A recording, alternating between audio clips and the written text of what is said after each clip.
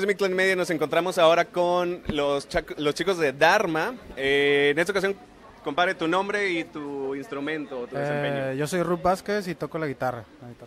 Perfecto. Bueno, entonces me decías, tú andes Dharma. Dharma, ¿qué género toca? ¿De dónde se influenciaron?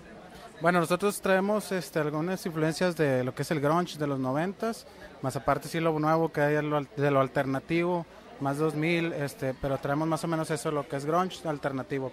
Excelente. ¿De dónde nace Dharma? ¿Cómo se conocen ustedes? Eh, Dharma somos un grupo de, amigos desde la primaria, nos conocemos este, en la colonia.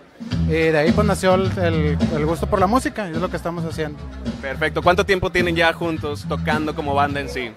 bueno, inicialmente empezamos como aproximadamente 2003, 2004. Separamos algún tiempo y activos estamos desde hace dos años aproximadamente.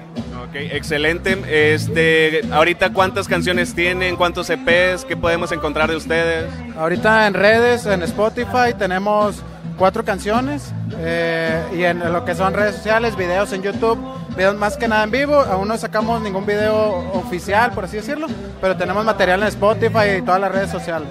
Perfecto. Y entonces en el Festival Emergencia, ¿qué nos van a presentar? ¿Van a ser las cuatro canciones que ya tienen grabadas y nuevas propuestas? ¿O van a ser mezclado de nuevas propuestas con lo que ya tienen? ¿Qué podemos esperar de ustedes en el festival?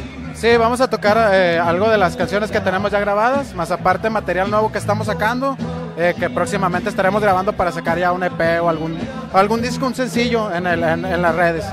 Perfecto. Ya por último, ¿cómo los podemos encontrar en las redes sociales? Estamos como Dharma, es D-H-A-R-M-A, M-T-Y.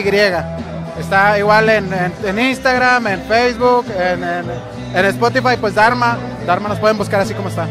Perfecto, pues ya lo saben chicos, hay que seguirlos y hay que seguir apoyando lo que es la, la escena local.